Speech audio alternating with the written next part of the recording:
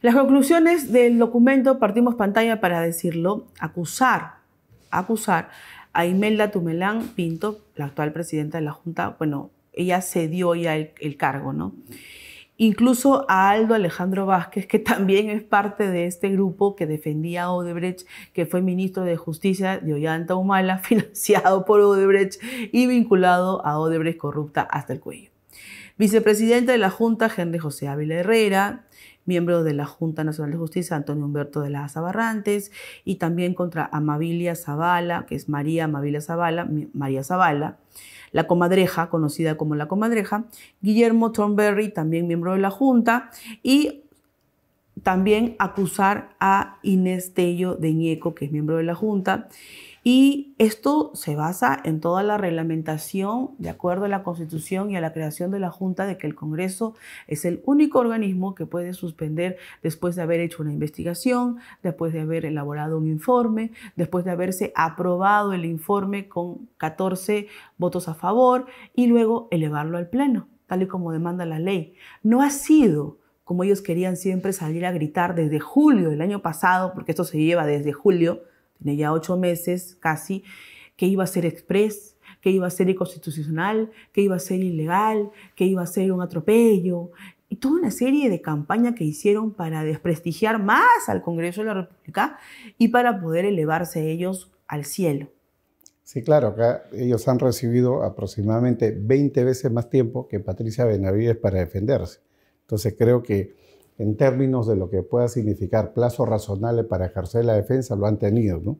El tema es ahora si hay la fuerza y los votos suficientes a nivel del Congreso para una decisión tan importante como destituirlos e inhabilitarlos hasta por 10 años como propone el informe.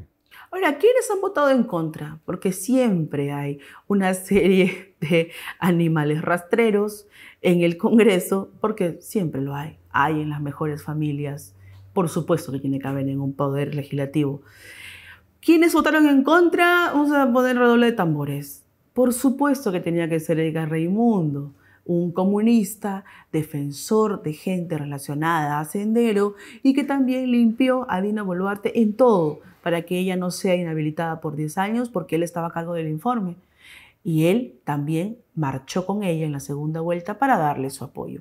Es su aliado y sabía que el otro señor Castillo, que era una ameba con una banda presidencial, sabía que iba a caer por todas las series de hechos de corrupción y que ella iba a asumir. Eso no era un secreto. Cualquier niño de inicial sabía que Castillo no iba a durar por la serie de, de acciones corruptas una tras otra, tras otra, tras otra. Edgar Raimundo votó en contra. Susel Paredes, Susel Paredes también votó en contra que es la misma gente defensora ultranza del cuestionado de Gorriti, de acusa, acusó a Pérez Benavides de una serie de cosas que no eran ciertas. Yo no sé cómo llegó a tal punto de que salga impune porque eso es una denuncia por difamación.